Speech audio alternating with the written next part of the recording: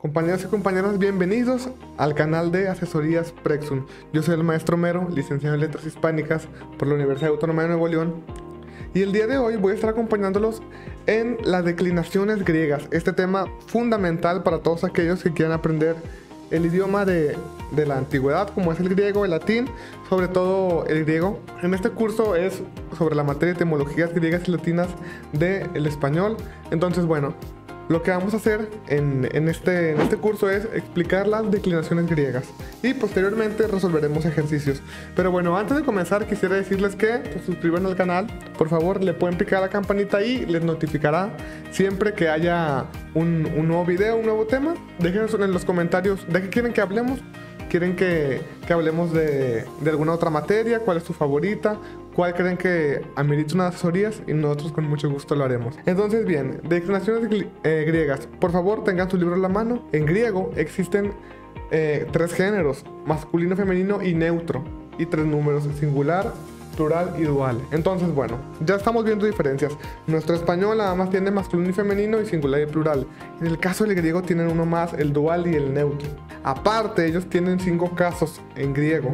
Nominativo, genitivo, dativo, acusativo. Pero en el griego no existe el caso ablativo. Los casos nominativo y genitivo son la base de la composición de las palabras de origen griego. Nominativo es la palabra que indica el sujeto de una oración. Genitivo es la palabra que indica propiedad o pertenencia. Entonces, para quedar más claros. En español no tenemos lo de los casos de nominativo y eso para nada. Pero esos casos están en función de cómo se habla. ¿Qué quiere decir? Como aquí lo explica. El nominativo indica el sujeto en la oración. Por ejemplo, la oración de abajo. El nominativo, la cabeza. Eh, y el genitivo es, indica propiedad o pertenencia. ¿La cabeza de quién? Del joven. Y aquí está en griego y como vemos, no tiene no tiene ningún artículo, ninguna otra palabra, no, simplemente eh, céfalo, eh, joven, cabeza y ya. Entonces, ¿de qué nos está hablando? Nos está hablando de que el griego tiene género masculino, femenino, neutro. Los casos, en español no los hay, pero aquí sirven para algo. El nominativo va, a ser el sujeto. Siempre que una palabra está nominativa va a ser el sujeto. Entonces, si ustedes se, se metieran mucho al mundo de la traducción y vieran lo de lo de griego, cada vez que viera una palabra que su terminación fuera denominativo, sería un sujeto. Esa palabra estaría siendo una acción porque es un sujeto. El genitivo indica propiedad del joven, de la niña, de la paloma, etc. ¿Ok? Cada uno de estos sirve para eso, para decir si es acusa, decir si es sujeto, decir si es objeto directo, indirecto, etc. ¿Ok? Quiero que tengan eso bien claro antes de continuar. Luego tenemos la tablita, eh, nominativo, genitivo, los casos en declinación de alfa pura terminan así, los nominativos en alfa, el genitivo también, pero se le agrega esta otra letra igualmente, la alfa en declinación pura y declinación de primera y de primera. Entonces, para los femeninos, la letra alfa se repite en todos los casos y se caracteriza porque va precedida de las letras Rho, Epsilon y Iota. ¿Ok? La letra alfa no se repite en todos los casos, sino que cambia por la letra eta y se caracteriza porque alfa va precedida de cualquier consonante menos de ro. Ok, entonces con base en esto podemos ver que las palabras en nominativo, genitivo y en los demás casos sirven a dependiendo de cómo terminen. Y nos dice que a veces va, van a ir con ro, con epsilon, con iota, etc. Y bueno, acá simplemente está su terminación, ¿ok? Yo sé que es difícil a la vista identificar en una palabra si es nominativo, si no es, o así, pero bueno, aquí tienen algunos consejos que les ayudarán a saberlo.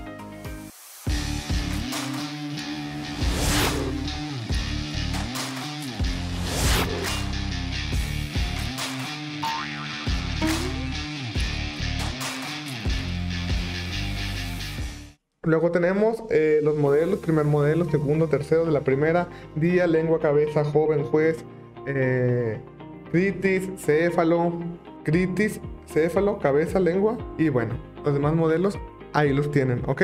Estas palabras es importante que sepan los casos en los que están, casi siempre están en nominativo, ¿ok?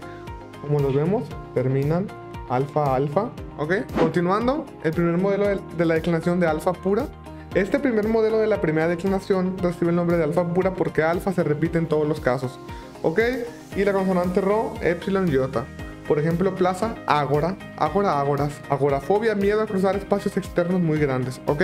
Luego, el segundo alfa impura porque no se repite en todos los casos, sino que lo cambia por eta. Eh, dipsa, dipsas, dipses, eh, set, adipsia, dipsomanía, dipsómetro, ¿ok? Eso significa set y cada uno de sus derivados. Finalmente, el tercer modelo de pura lleva eta y se repite en todos los casos gramaticales. Se caracteriza porque eta va precedida de una consonante sencilla. El modelo eta con terminación en su nominativo y sigma en su genitivo. Eh, ode, ode, odes, canto, melodía, rapsodia, tragedia, en cada uno se repite esto de Oda, ¿lo ven? Entonces, bueno, vemos cómo se repite canto, canto, canto en cada una de sus derivadas. Este modelo tiene temas masculinos, aunque no son muy numerosos, tienen como características su nominativo se escribe con alfa sigma y omicron y epsilon. Boreal significa aquilón, ok. Boreal perteneciente relativo al norte, viento procedente del norte, borea. Por borea dicho una región eh, al norte, es decir, hacia donde hace más frío, ¿no? Como aquel, aquel personaje Boreas de la mitología. Continuamos con el quinto modelo, contiene temas masculinos, aunque no muy numerosos, y se caracteriza porque se escribe con eta sigma y omicron y. Eh, la palabra crites, pues, criterio, crítica, hipócrita, criterio, juicio, crítica, enjuiciar hechos, hipócrita, persona que finque cualidades o sentimientos contrarios a los que posee. Y bueno, llegamos a la segunda declinación, ya vimos la primera. Eh, presenta dos modelos, nominativo, genitivo, osos, op, op, o, o. Por ejemplo, eh, biblios, libro y agros, campo. Son los dos modelos. Eh, los sustantivos abarcan temas masculinos. En su nominativo terminan en omicron sigma y en su genitivo omicron y Agros, eh, agros, campo, agrodesia, agrología, agronomía, todas ellas relacionadas al campo claramente, porque esta es su raíz, y se repite agro, agro, agro. Continuamos con el nominativo de los neutros, omicron ni, y su genitivo omicron y. Biblios, libro, bibliofila, biblioteca, bibliotecario. Ok, vemos cómo se mantiene el biblios, biblios, biblios. Luego continuamos con el siguiente modelo. La tercera declinación presenta un solo modelo. Nominativo, genitivo, os, ok. Eh, eros, amor, eh, gines, mujer. Y ahí tenemos eh, gines, ginecos. Gineco, lugar de la casa de los griegos que las mujeres como meditación. Ginecología, tratado de las enfermedades de las mujeres. Misoginia, aversión a las mujeres. Entonces, bueno, ya tenemos esos tres modelos que vienen de la palabra griega que significa mujer. La tercera declinación contiene temas masculinos, femeninos y neutros y el nominativo varía, lo cual quiere decir que puede terminar en cualquier consonante, pero su genitivo debe terminar en omicron sigma.